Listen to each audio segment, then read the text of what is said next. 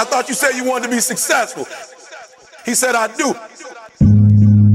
He said, when you want to succeed as bad as you want to breathe, then you'll be successful. I don't know how many y'all got asthma here today, but if you ever had an asthma attack before, you short of breath, you wheezing, the only thing you trying to do is get some air. You don't care about no basketball game. You don't care what's on TV. You don't care about nobody calling you. You don't care about a party.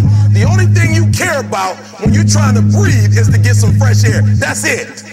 And when you get to the point where all you want to do is be successful as bad as you want to breathe, then you'll be successful. And I'm here to tell you, number one, that most of you say you want to be successful, but you don't want it bad. You just kind of want it. You don't want it badder than you want to party. You don't want it as much as you want to be cool. You, most of you don't want success as much as you want to sleep.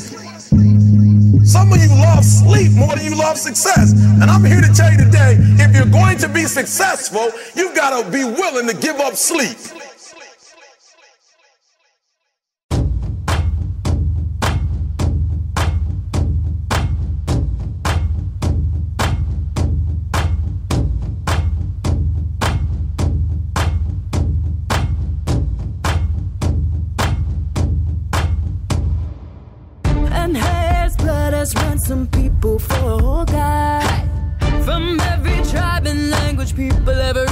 Every